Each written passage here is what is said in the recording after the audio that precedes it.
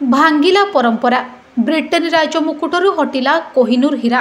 Britain ମହାରାଣୀ କାମିଲାଙ୍କ ମୁକୁଟରେ ରହିବ ନାହିଁ କୋହିନୂର।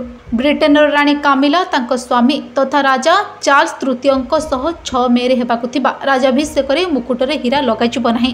ବ୍ରିଟେନର ରାଜପରିବାରର ସରକାରୀ ବାସସ୍ଥାନ ବକିଂହମ୍ ପ୍ୟାଲେସ୍ ଏହି ଘୋଷଣା କରିଛି। କହିବାକୁ ଗଲେ କୋହିନୂର ହୀରାର ଇତିହାସ ଅତ୍ୟନ୍ତ ବିବାଦୀୟ। ଏହା ଉପରେ ଭାରତ ନିଜର ବୋଲି ଦାବି କରେ। କାମିଲା ଏହି ଶୋଭାଯାତ୍ରା ପାଇଁ ରାଣୀ ମେରିଙ୍କ ମୁକୁଟ ବାଛିଛନ୍ତି। ଏହାର ଅର୍ଥ ହେଉଛି ଏଥିରେ କେବଳ ହୀରାର ଏକ ପ୍ରତିକୃତି ରହିବ ଯାହାକି ଦୁନିଆର ସବୁଠାରୁ ମୂଲ୍ୟବାନ ଏବଂ ସର୍ବବୃହତ କଟା ହୀରାରେ ଅନ୍ତର୍ଭୁକ୍ତ। ବାସ୍ତବରେ ମୂଳ ହୀରା ମହାରାଣୀ ଏଲିଜାବେଥ ଦ୍ୱିତୀୟଙ୍କ ମା ରାଜମାତା ମହାରାଣୀ ଏଲିଜାବେଥଙ୍କ ମୁକୁଟର ଶୋଭା ବଢ଼ାଇଥାଏ ମଙ୍ଗଳବାର ଦିନ ପ୍ୟାଲେସ୍ କହିଛି ଯେ ଛଅ ମେରେ ସମାରୋହ ପାଇଁ ରାଣୀ ମେରିଙ୍କ ମୁକୁଟ ଲଣ୍ଡନ ଟାୱାରରେ ପ୍ରଦର୍ଶନୀରୁ ହଟାଇ ଦିଆଯାଇଛି। ତେବେ କାମିଲା କେଉଁ ମୁକୁଟ ବାଛିବେ ସେ ନେଇ ଅନେକ କଳ୍ପନା ଜଳ୍ପନା କରାଯାଇଥିଲା। ଅନେକ ରିପୋର୍ଟରେ କୁହାଯାଇଛି ଯେ କାମିଲାଙ୍କ ପସନ୍ଦ ରାଜମାତା ମହାରାଣୀ ଏଲିଜାବେଥ ଦ୍ୱିତୀୟ ପିନ୍ଧିଥିବା ମୁକୁଟ ହୋଇପାରେ।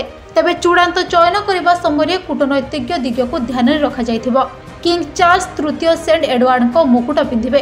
ତେବେ ଏକ ରିପୋର୍ଟରେ କୁହାଯାଇଛି ଯେ କୋହିନୂର ହୀରା ହେଉଛି ଶହେ ପାଞ୍ଚ ଦଶମିକ ଛଅ କ୍ୟାରେଟ୍ ଯାହା ଦୁନିଆର ସବୁଠାରୁ ବଡ଼ କଟା ହୀରା ମଧ୍ୟରୁ ଅନ୍ୟତମ। ଅଠରଶହ ପଚାଶ ମସିହାରେ ରାଣୀ ଭିକ୍ଟୋରିଆଙ୍କୁ ଉପସ୍ଥାପିତ ହେବା ପରଠାରୁ କୋହିନୂର ରାଜପରିବାରର ଅଳଙ୍କାର ସଂଗ୍ରହର ଏକ ମୁଖ୍ୟ ପାଲଟିଛି। ଏହି ହୀରାକୁ ଶେଷରେ ରାଜମାତା ରାଣୀ ଏଲିଜାବେଥ ପିନ୍ଧିଥିଲେ। କିନ୍ତୁ ଦୁଇ ହଜାର ଦୁଇରେ ମୃତ୍ୟୁ ପରଠାରୁ ଏହା ସର୍ବସାଧାରଣଙ୍କ ନିକଟରେ ପ୍ରଦର୍ଶିତ ହୋଇଥିଲା। Bureau report Odisha news room.